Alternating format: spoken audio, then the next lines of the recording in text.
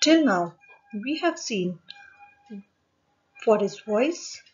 Voice is a verb expresses whether the subject in the sentence has performed or received an action. For example, the watchman opens the door. Here, watchman is the uh, subject who has performed the action. And the second example, the door is opened by the watchman.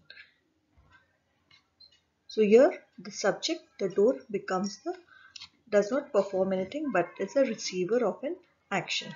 We have also seen the rules to convert active to passive voice in simple present tense, simple past tense, present continuous tense and past continuous tense as well as present perfect.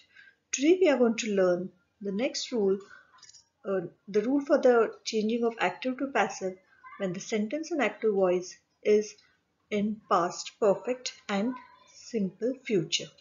So let's begin. Active and passive voice rules for the past perfect.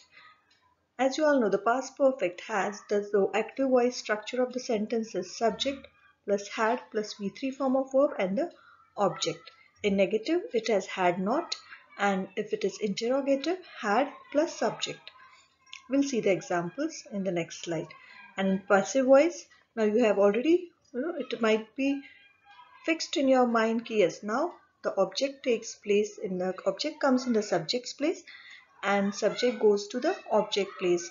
And we have had plus been the same rule which had applied for present perfect where we had uh, we write has or have been and v3 form of verb. Here also same thing only we have had uh, had been and v3 form of verb whereas v3 form of verb is already there in active voice and you just need to add been over here b double e n here are some examples. Active voice misha had cleaned the floor.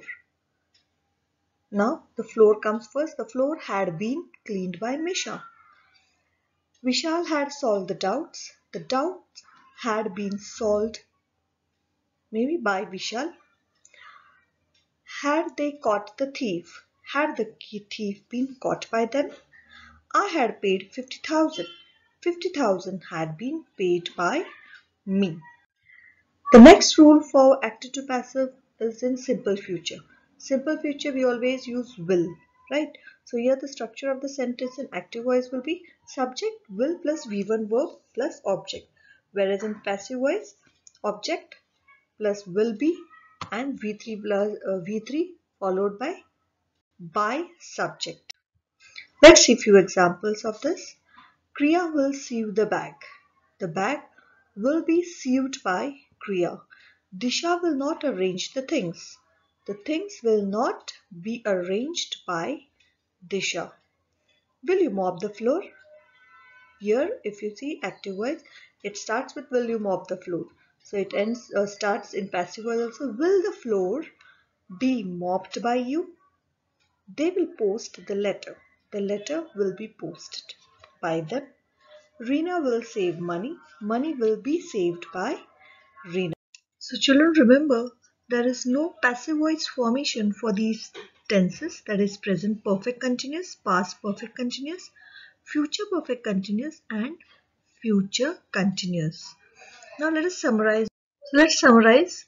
Here is I have taken only one sentence in all the tenses and you can observe the changes how the sentence changes into passive voice if you observe it very carefully the object which is object in the active voice the shell it comes first in all the sentence and collected by the boy you'll find it everywhere in the sentence collected by the boy whether it is simple present present continuous simple past or past continuous or past perfect or even in your simple future collected by the verb. Now you have to remember what changes is only the verb, the auxiliary verb. So what is the what changes or what we have to remember is in simple present we use are depending on the noun whether it is singular or plural. And when it is ing form of verb in continuous we use are being. Both in past and future past we use were or was.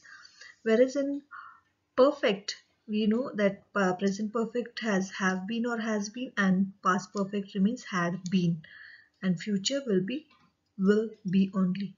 Okay children i hope you have understood and this is an easy trick which i have shown you how to change from active to passive how to remember. For this you need to revise the tenses which would be more helpful when you solve the exercises of active to passive. Thank you children. Stay safe. Stay home. Have a good day